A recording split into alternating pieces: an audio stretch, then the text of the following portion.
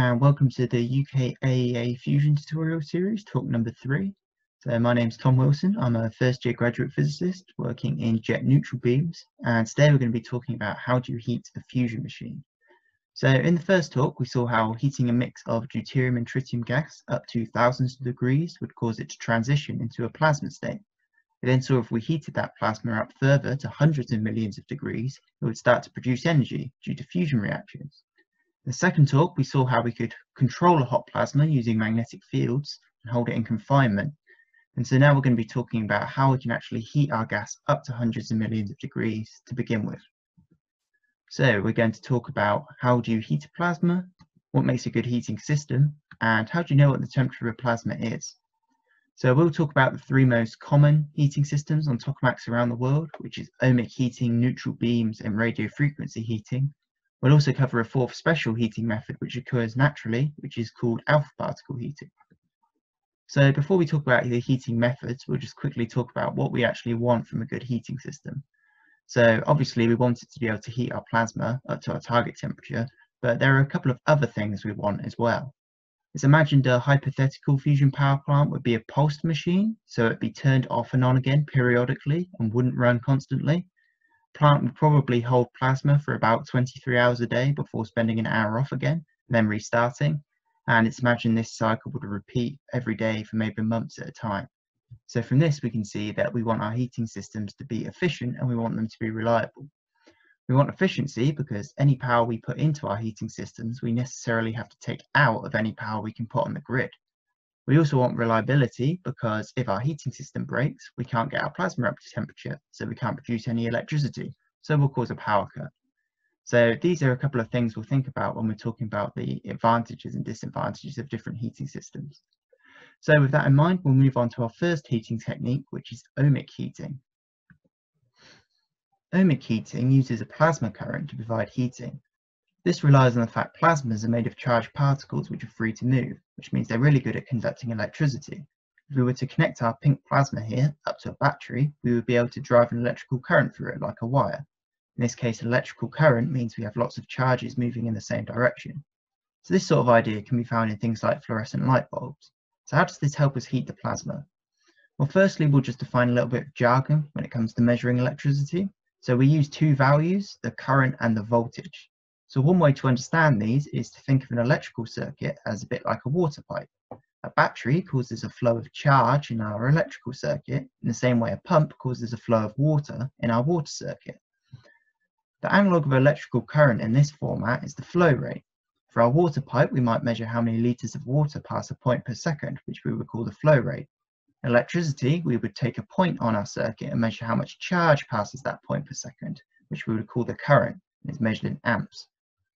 Uh, and the analog of electrical voltage is the water pressure, which is a sort of a measure of how strong our flow is. This is best seen by putting some sort of restriction in our pipe. In this case, we've got a paddle wheel. So you can imagine a very low pressure flow would struggle to get past this paddle wheel, especially if the axle was a bit rusted up, whereas a very high pressure flow would easily turn the paddle wheel and keep moving. So a high pressure or voltage really just means our flow is harder to stop. It's basically a measure of how much energy we have stored in our flow. So voltage is measured in volts. Both of these values are fundamentally linked. If we multiply our current by our voltage, we get the electrical power in our circuit. So the source of this power is the battery. The power in the flow can then be extracted again using some sort of component. So in our water circuit example, we've got this paddle wheel. The power in our water flow is converted by the paddle wheel into a rotation, which we can then use for something else. This relation also means because we fix the power by the source, in this case the battery, we can have a low current high voltage flow or a high current low voltage flow, both of which have the same power. This will be useful when we talk about transformers in a little bit. So, a quick recap for the atom from the first talk. So an atom consists of a very small heavy nucleus made of protons and neutrons surrounded by light electrons which orbit the nucleus. The whole thing is net neutral as we have as many positive charges as negative charges. If we were to remove an electron from our atom, the whole thing would then have a net charge, so we'd call that an ion. So what happens when currents flow in a material? Well, this is what a metal wire looks like if you zoom in enough. From before we have our red nuclei, which are the red pluses here, and our electrons, which are the blue minuses. The nuclei are pretty much fixed in place. All they can really do is vibrate on the spot, while the electrons are free to flow through the material. So we see our electrical current would be carried by the electrons as they flow in the material. As they do so, every so often they might hit an ion. When it, this happens, the electron gives some of its energy to the ion, which vibrates on the spot. The electron then gets accelerated again by the battery, but again, every so often it hits an ion. So this resistance to it flowing is called electrical resistance and is measured in ohms after the scientist who did a lot of work on it. So every time there's a collision with the wire, it's going to heat up a bit. This means anything with a current flowing through it will also heat up. So what I've just described is the same as a heating element on an electrical cooker. So we pass an electrical current through this heating element, which then heats up because of electrical resistance. So does this apply to the plasma? Well, the plasma looks similar to this, except the ions are also free to move about. Turns out our current will still be carried by our electrons predominantly because they're so much lighter and easier to move. The ions are also still able to be hit by the electrons and move about, so it still has resistance. So now we realise if we can drive a current through our plasma, we can actually heat it up, and this sort of heating is called ohmic heating. The only snag is how we can actually drive a current in our plasma in the first place, because we can't connect it up in a circuit in a traditional way because it's so hot. The solution is the transformer. So a transformer is a device which uses current in one circuit, called the primary winding, to induce the current in another circuit, called the secondary winding. So as transformers don't require the two circuits to touch, we can replace our second circuit with our plasma to then induce a current in it. So a transformer is really a device which allows us to convert power in one circuit that's into power in another circuit. So to understand how a transformer works, we'll get back to our water circuit analogy.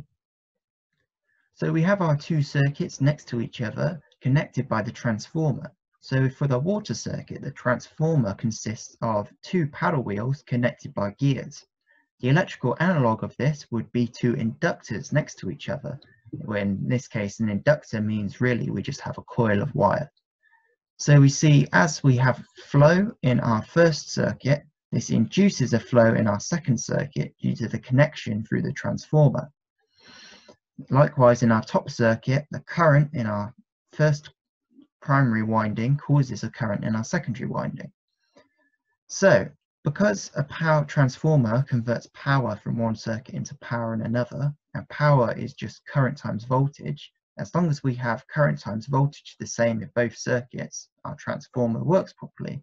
What this means is we can change the ratio of current to voltage in our secondary circuit. So one way we might do this in our water circuit is by changing the gear ratio between these gears. The analog of this in our electrical circuit would be to change the ratio of coils from one inductor to the other. Now when we have our flow, we can see that the flow rate in our secondary circuit has been halved, and likewise the current in our secondary winding has been halved. At the same time, the voltage and water pressure has been doubled.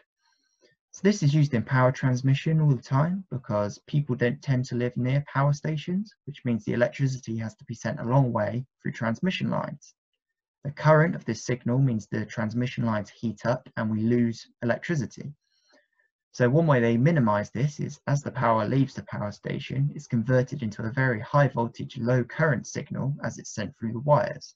When it then reaches residential areas, it goes through a substation, which converts it back into a higher current, lower voltage signal, which can then be used in your house. So on a fusion machine, we want to do the latter. We want to massively increase the current at the expense of the voltage. So here's a drawing of the ohmic heating system on JET, which is the Joint European Torus, which is the world's largest tokamak based in Culham in the UK. So for JET, we have lots of turns on our primary winding. In this case, we have 540, while our plasma acts as a single turn on our secondary winding. So this means we can drive a 15 or 20,000 amp current through our primary winding and get a 3 to 4 milliamp current go through our plasma, which then heats up due to a resistance. So this is a really enormous current, so it allows the plasma to heat up to about 80 million degrees.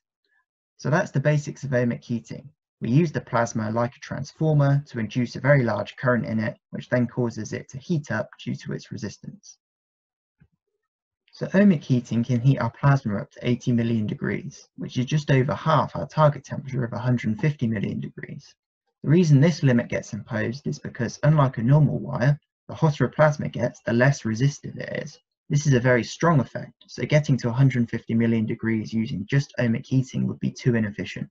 So we need some additional heating systems to complement our ohmic heating to reach our target temperature. The first of these is the neutral beams.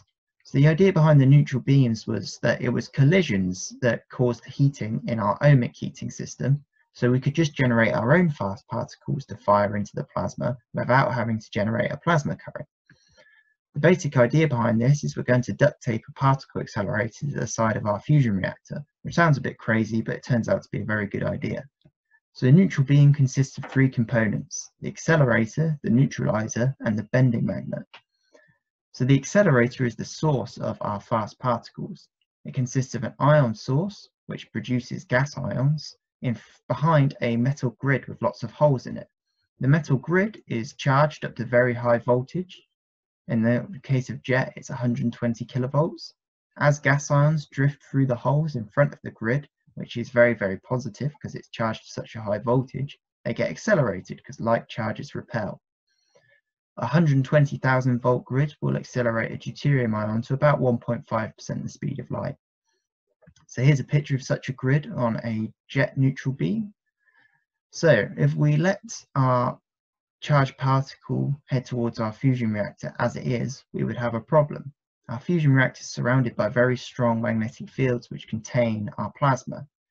And the downside of this is it means anything charged heading towards it gets deflected away.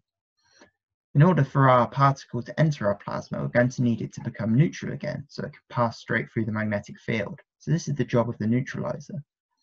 Neutralizer is just a cloud of gas that our beam of fast ions passes through on its way to the reactor.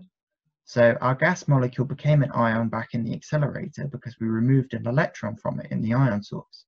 In the neutralizer, we just give it a chance to get that electron back from stealing it from one of the gas molecules.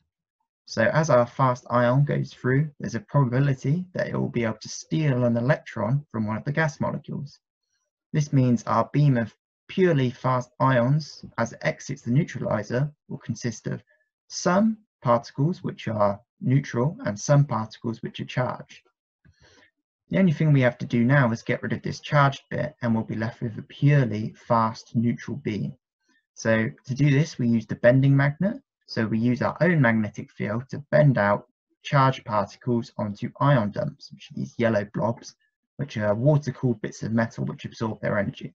So as our composite beam travels through, it strips out the charged bit and we're left with a purely fast neutral beam. When our fast neutral beam enters the plasma, it will be instantly reionized because the plasma is so hot. So you can see that the blue electron here will be lost the fast ion will then ping about like a pinball, transferring all its energy to the plasma via collisions before eventually settling down and orbiting just like a normal plasma particle. So in real life, on JET, this entire neutral beam system is over 10 meters long. Here's a picture of it compared to the size of JET, so it's actually comparable to the size of the reactor. There'll also be another one of these systems on the other side. So we have our accelerators, which are the PINIs at the back here, then we in front of them we have our neutralizers, we have our bending magnet and ion dumps, and then our fast beam enters the torus through this duct. So here's uh, the central cryo panel for scale, and here it is compared to some people. We also have another picture from a different angle. So we have our PINI, which are positive ion neutral injectors, which are accelerators, neutralizer, bending magnet, and ion dumps. So Neutral beams are crucial components for tokamaks currently as they deliver most of the heating power. They're complicated bits of equipment on their own right, let alone connected to a tokamak. And they're also a crucial component for ITER, which is the next generation tokamak being built in France. But ITER is going to have beams which will be running their metal grids at 1 million volts, so almost 10 times what JET has.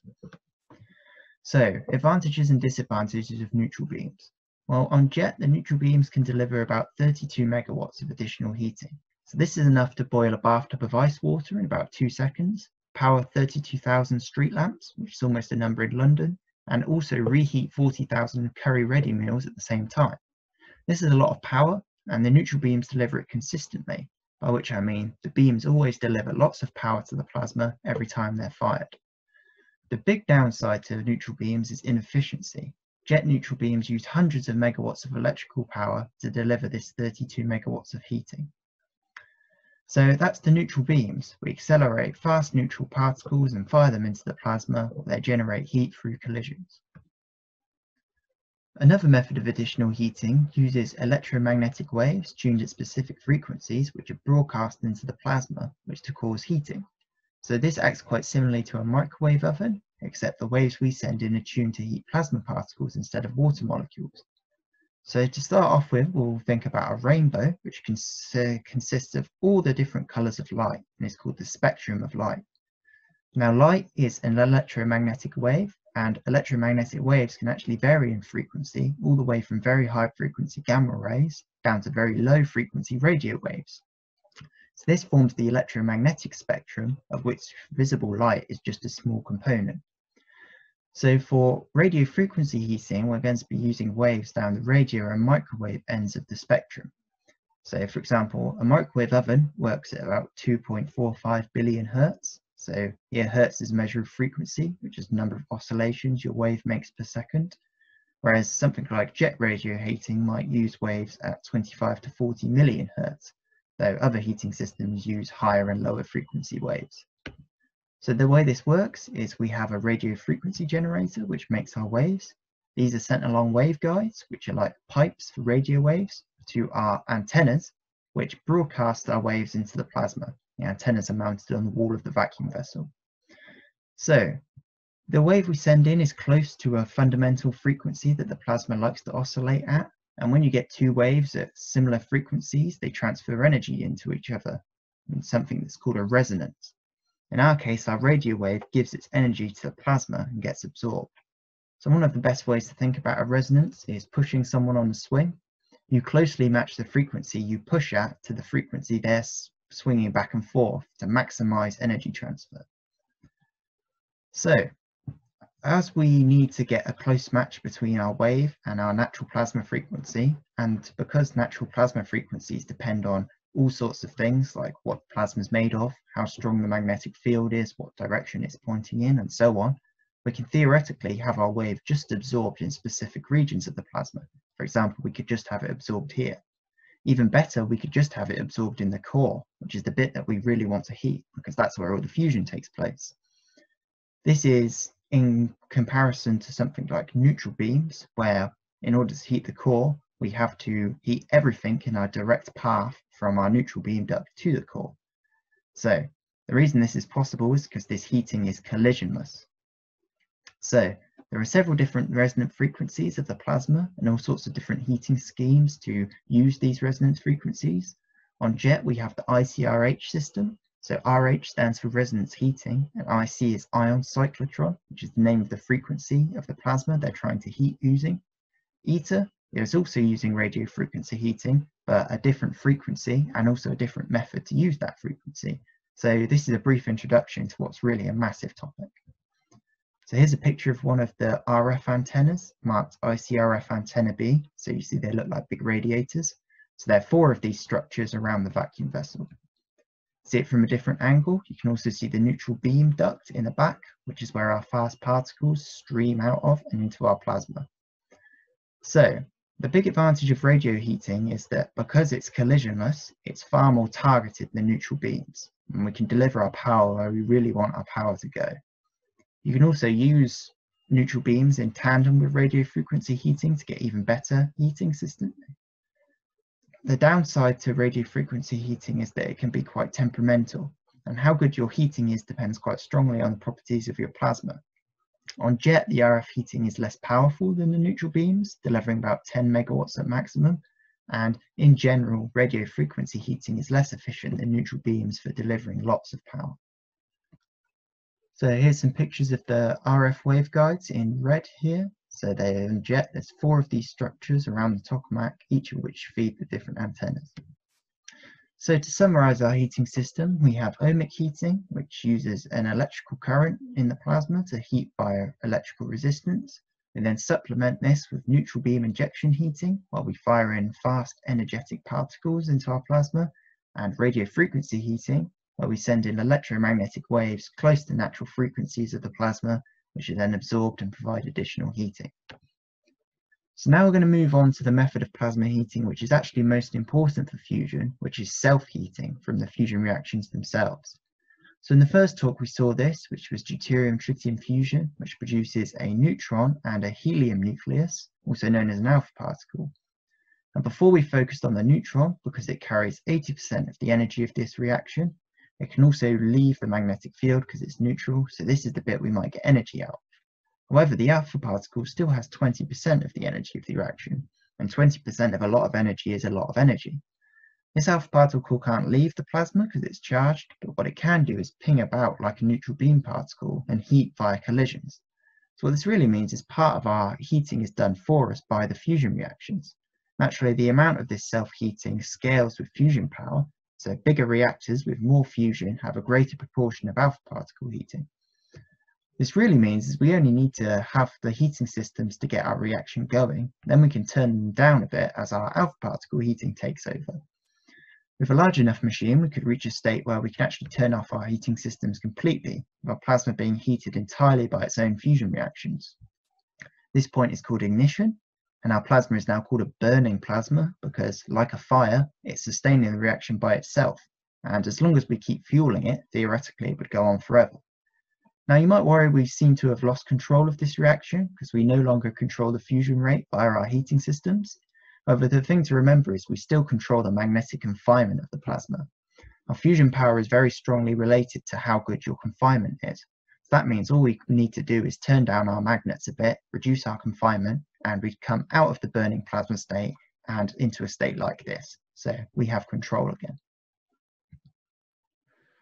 So now we're going to quickly talk about how you might actually measure the temperature of the plasma at the end here. So we can't just dip a thermometer into 150 million degree plasma to measure the temperature. And this is actually a characteristic problem of trying to measure anything on a fusion plasma, which is if you want to do it, you have to do it as from as far away as possible and the other side of a vacuum vessel. Now the temperature is really important when it comes to fusion plasmas it not only determines the rate of fusion, but if you look at how it changes across your plasma over time, you can also figure out all sorts of events which must have happened. So one of the key diagnostics on JET is the High Resolution Thomson Scattering System, or HRTS, which measures the temperature and density of the plasma. So the way this works is we shine a laser beam into our plasma, which then gets reflected off, and we measure this reflected light. So from this we can calculate the temperature, which we'll talk about in a sec. So the lasers used are held in the roof lab uh, above the tokamak. And the reason we use a laser is because we want lots of light at exactly the same frequency. So the way we're going to calculate the temperature is going to rely on something called Thomson scattering. So Thomson scattering is the name of for where light gets reflected off electrons. So we have lots of fast electrons flying about in our plasma, and as our laser light comes in, it gets reflected off it, and changes frequency due to something called the Doppler shift. So we know the frequency of the light we put in because it comes from a laser and we measure the frequency of the light we get out so we can actually measure what this frequency shift is. Using this frequency shift we can then calculate what the temperature of these electrons must have been. You can also use this system to measure density by comparing the intensity of the light you put in to the intensity of light you measure on the other side of the plasma. You can imagine as your beam of light goes across, every some of it gets scattered off the electrons, and so the difference between the intensity at the beginning and end must give you an idea of how many electrons there must have been along this path. So that tells you a bit about the density. This isn't the only way of calculating the temperature on a tokamak. On JET, there's different another laser system called LIDAR, but this is just a brief introduction to how you might go about measuring something like this. So we're now coming towards the end of the talk. So just to summarize, at the beginning we asked how can we heat a tokamak? And the answer is we can heat it using ohmic heating, neutral beams and radio frequency heating. We asked, what do we want from a good heating system? And we want heating systems to be efficient and we want them to be reliable. Finally, we asked, how can we possibly measure the temperature of a plasma? And the answer is we can use Thomson scattered laser light. So that's it from me. Thanks very much for watching. I hope you've learned something. Next time, there will be a talk on the challenges of fusion. If you have more questions, you can leave a comment on this video. Alternatively, you can visit the official websites for UKAEA and Eurofusion. You can also email the communications team directly or follow UKAEA on social media.